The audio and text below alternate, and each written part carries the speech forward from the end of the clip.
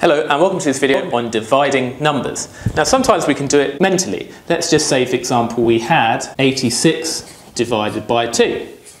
Well we've got 8 tens and if we divided by, that by 2 we'd have 4 tens. And if we have 6 units and we divide that by 2 we'd have 3 units. So we can instantly see that just 86 divided by 2 is going to be 43. But we could use something called uh, the bus stop method, also known as short division to do this. So what we do is we put the first number here, the 86 on the right, and we're dividing that by 2. So we put the thing we're dividing by on the left, and then we say how many times does 2 go into 8? Well, it goes in 4 whole times, we put a 4 there. And how many times does 2 go into 6? Well, it goes in 3 whole times, 2 times 3 is 6, so we do 3 there. And we can see we get 43 as the answer. And we can use this method for some of uh, these hard examples. So, if we're doing 243 divided by 9, we do the same thing as before. We put 243 here, and the number we're dividing by on the left. And then what we do is we say, how many times does 9 go into 2? Well, it doesn't go in any times. If you did 9 times 1, for example, that already gets you up to 9, which is already too big. You could think of it as saying like having two sweets. If I want to share two sweets between nine people, how many sweets does everyone get? Well, no one gets any sweets, so it'd be going zero times, but we still have the two sweets left in our hands, so we have a remainder of two. And what we do is we put that remainder on the next number, top left of it. So now what we do is we say how many times does 9 go into 24?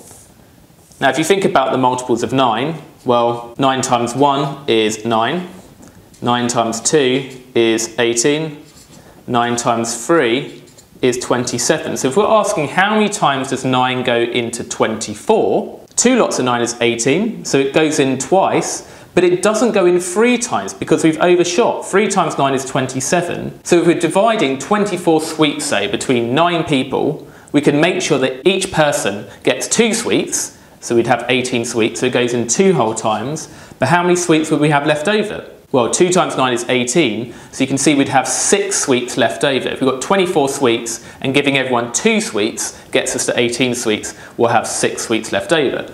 So we put the remainder of 6 here. And then how many times does 9 go into 63? Well, it goes in 7 whole times. So we get an answer of 27. Next question. We've got 3,234 divided by 7, so let's do our bus stop. 3, 2, 3, 4 divided by 7.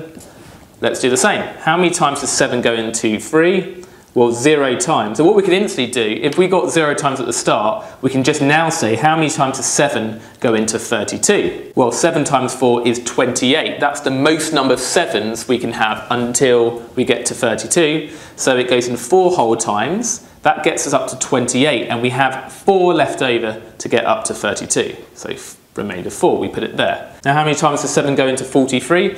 Well, the closest multiple of 7 to, that's lower than 43 is 42. That's 6 times, so we can go in 6 whole times, and 6 times 7 is 42, so we have 1 left over. So we put the remainder of 1 here. And how many times does 7 go into 14? Well, it's twice. So therefore, the answer is 462.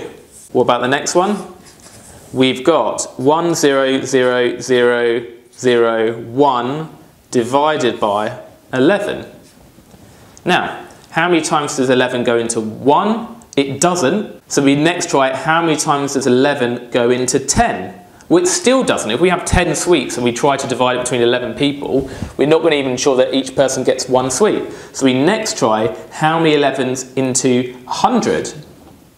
Well, the closest multiple of 11 below 100 is 9 times 11. That's 99, isn't it? So we can have 9. 9 times 11 is 99, and we'll have 1 left over, remainder of 1. So we put the 1 here. Now, how many times 11 go into 10? Well, it goes in 0 times. So we put a 0 here. We have to make sure we put the zeros now. We could get away with not putting the zeros before at the start, but now we do have to put the zeros. And what was the remainder? If I have 10 sweets, I try to divide it between 11 people, each person gets zero sweets, but I still have the 10 sweets in my hand. So in fact, we have a remainder of 10, and I have to put the 10 on here. So now we have 11 into 100, it goes in 9 times. So 9 times 11 is 99, and we have one sweet left over, So we put the 1 here, and 11 into 11, it goes in exactly once. So the answer is 9,091. What about the next one? We've got 5, 0, 4, 6, 3 divided by 5. Now I know that this is not going to divide exactly by 5, so we actually have a remainder at the end. So 5's into 5, it goes in exactly once.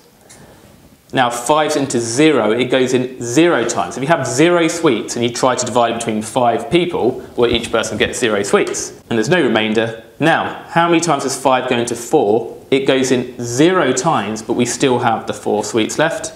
How many times does 5 go into 46? Well, the closest multiple of 5, lower than 46, is 9 times 5. 9 times 5 is 45, so it goes in 9 whole times with a remainder of 1. How many times does 5 go into 13. Well, it goes in twice. That gets us up to 10. 5 times 2 is 10, and we have a remainder of 3. Now, we've got nowhere to put the 3, so what we can do is we can say there's a remainder of 3. That's what's left over. So 5 goes into this number that whole number of times. So if we had this number of sweets and we tried to share it between 5 people, each person would get that number of sweets, but we'd have 3 sweets left over. We call that the remainder. We could go into decimals so that we don't have to write the remainder, but we'll cover that in another video. And finally, we want to do 60,216 divided by 13.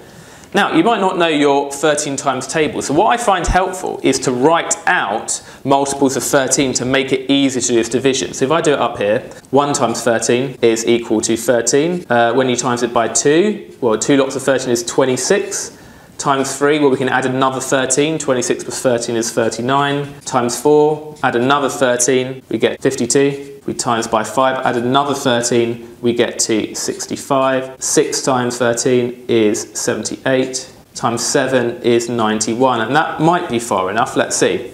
So 13 into 6, we can't do it, so we then try 13 into 60. Well, let's look at our table here. What's the greatest multiple of 13 that's less than 60? Well, we can see that 52 is the biggest number there that's less than 60. So it goes in four whole times. That gets, gets us up to 52. What's left over? Well, we've got a remainder of 8. So we put the 8 here. Now, 13 into 82. We need the biggest multiple of 13 that's less than 82. Well, it's this one here, times 6. So it goes in 6 whole times. 6 times 13 is 78. And you can see that we have 4 left over. So we put the remainder 4 there. 13 is into 41. Uh, 39 is the biggest multiple of 13, less than 41, so it goes in three whole times. And we have a remainder of 2. And then finally, 13 is into 26. It goes in exactly twice. And we've got our answers, 4,632.